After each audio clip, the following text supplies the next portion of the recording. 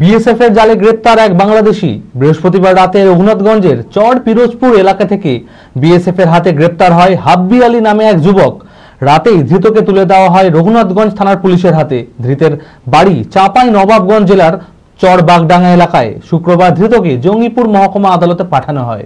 মানসিক স্বাস্থ্যের জন্য সবার আগে যে নামটি মনে ভেসে ওঠে, সুস্থ মনের ঠিকানা মনোবীক্ষণ। যোগাযোগ number seven four triple seven double nine five one six ফের গ্রেপ্তার এক বাংলাদেশি। বৃহস্পতিবার রাতে রঘুনাথগঞ্জের চর পিরোজপুর এলাকা থেকে বিএসএফ এর হাতে গ্রেপ্তার হয় হাব্বি আলী নামে এক যুবক।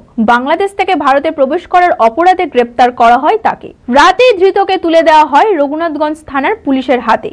ধৃতের বাড়ি চাপাই নবাবগঞ্জ জেলার চরবাগডাঙ্গা এলাকায়। শুক্রবার রঘুনাথগঞ্জ থানার পুলিশ ধৃতকে জঙ্গিপুর মহকুমা আদালতে পাঠায়। কি উদ্দেশ্যে এবং কেন এই ওই যুবক বাংলাদেশ থেকে ভারতে এসেছিল? তার তদন্ত করছে রঘুনাথগঞ্জ থানার পুলিশ। সরাসরি ভর্তি চলছে। খুবই অল্প খরচে পড়ার সুবর্ণ সুযোগের সাথে রয়েছে স্কলারশিপের ব্যবস্থাও। রয়েছে বাস পরিষেবা হোস্টেলে থাকার ব্যবস্থা।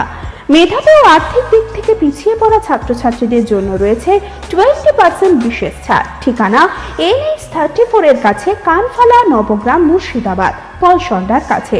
যোগাযোগ number eight nine six seven one five double eight two one